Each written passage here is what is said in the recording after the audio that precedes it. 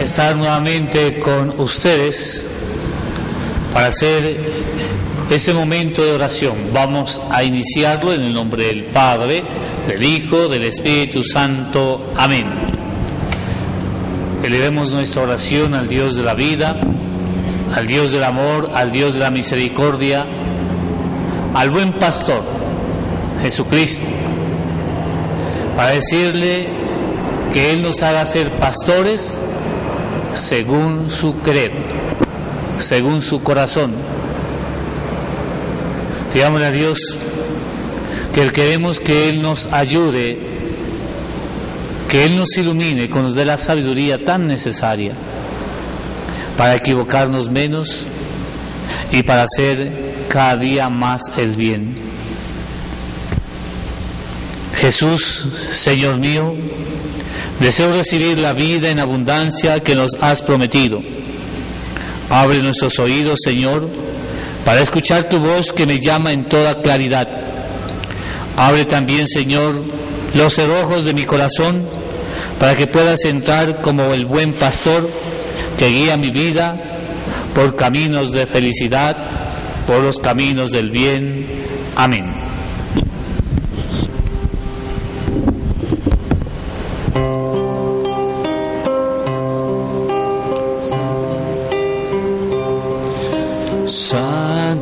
Espíritu de Dios, mora en mí, mora en mí. Quiero ser lleno de tu amor, mora en mí, mora en mí. Vamos en este momento escuchar el Evangelio de San Juan, capítulo 10, 1.10. San Juan 10, 1.10. Nos dice la palabra de Dios. En aquel tiempo dijo Jesús, les aseguro que el que no entra por la puerta en el aprisco de las ovejas, sino que salta por otra parte, ese es un ladrón y un bandido. Pero el que entra por la puerta es pastor de las ovejas. A ese le abre el guarda y las ovejas atienden su voz. Y él va llamando por el nombre a sus ovejas y las saca fuera. Cuando ha sacado todas las suyas, camina delante de ellas y las ovejas lo siguen, porque conocen su voz. A un extraño no lo seguirán, sino que huirían de él, porque no conocen la voz del extraño. Jesús les puso esta comparación, pero ellos no entendieron de qué les hablaba. Por eso añadió Jesús, les aseguro que yo soy la puerta de las ovejas. Todos los que han venido antes de mí son ladrones y bandidos, pero las ovejas no los escucharon. Yo soy la puerta. Quien entra por mí se salvará y podrá entrar y salir y encontrará pastos. El ladrón no, es, no entra sino para robar y matar y hacer estrago. Yo he venido para que tengan vida y la tengan en abundancia. Palabra del Señor. Gloria a ti, Señor Jesús.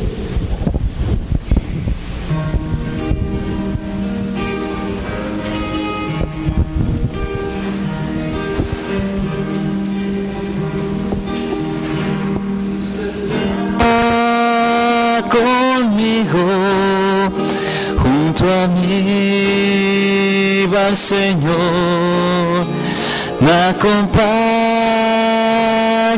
siempre en mi vida hasta el fin.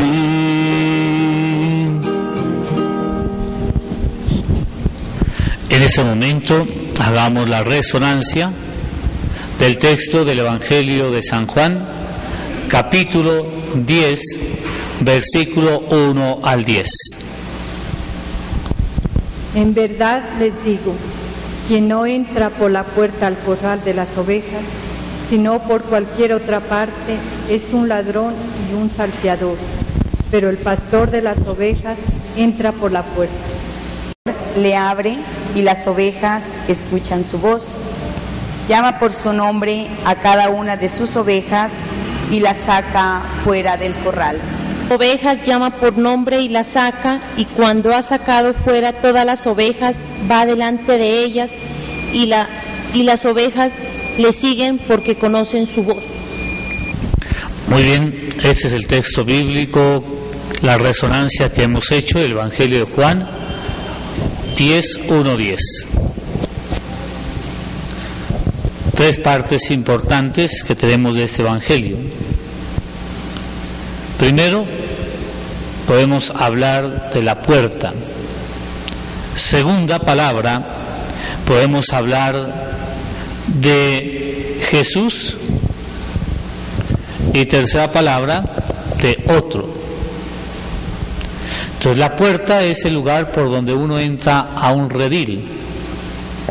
La puerta es el lugar por donde uno entra a las ovejas. Y las ovejas pueden entrar y salir por allí. La puerta, ya desde el texto que hemos escuchado, es Jesús. Jesús es la puerta para que entremos en la iglesia. Y ese es el redil por excelencia. Yo no puedo entrar por otra parte a la iglesia si no es por Jesucristo. Jesucristo es la única puerta por la cual yo puedo entrar a su redil, a la grey, como dice el Concilio Vaticano II. Entonces tengo que entender que hay una puerta por la cual puedo entrar y esa puerta se llama Jesús. Y el que entra por la puerta que es Jesús, ¿qué tiene? Vida en abundancia. ¿Sí? Al entrar al redil hay seguridad, porque el lobo no puede entrar, porque hay quien lo cuida, que es el buen pastor. Cuando se entra por la puerta, hay bienestar, tranquilidad, armonía y todos los valores del reino de Dios. Mire, todos los valores del reino de Dios los hay cuando tú entras por la puerta que es Jesús. El otro, ¿quién es el otro? El otro es aquel que en el tiempo del Antiguo Testamento, como lo denuncia el profeta Ezequiel, es aquel que viene a destrozar, a robar, a engañar, a beneficiarse de sus ovejas. No le importan sus ovejas, lo que importa es su bien personal, contrario al buen pastor. El buen pastor lo que le importa es el bien del redil, el otro lo que le importa es el bien personal. Y cuando Jesús habla de este Evangelio, está hablando de los líderes políticos de ese entonces, que se aprovechaban del pueblo para poder oprimir, engañar, estafar y robar al pueblo. Pues dice, los otros son unos ladrones que solamente se vienen a aprovechar de qué? Se vienen a aprovechar del pueblo. Si lo pudiéramos aplicar hoy en día también, podríamos mirar a muchos líderes políticos que llegan a los cargos no es para servir a su rebaño. Se han olvidado de ser buenos pastores, lo que buscan es robar, engañar, estafar al pueblo. Y entonces se convierten en unos asalariados. Qué importante en la vida de nosotros los cristianos poder de verdad ser buenos pastores según el corazón de Dios.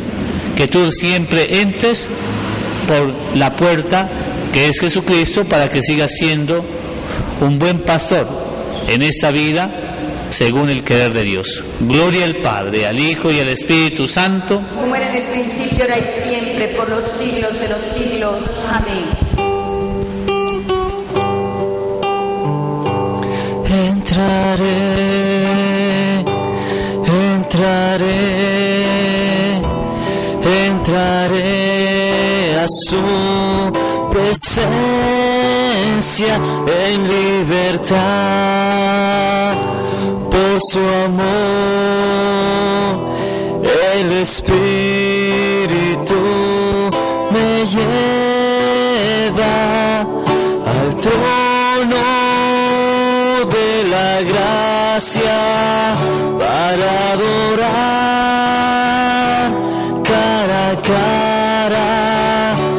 si a Dios vivo adorar libre soy libre soy para entrar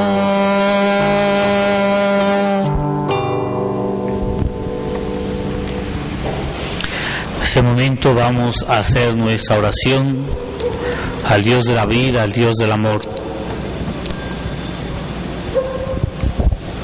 Vamos a llevar nuestra oración a Dios, el buen pastor. Digamos, al recordar la muerte y resurrección de tu Hijo, te ofrecemos, Padre nuestro, nuestra plegaria.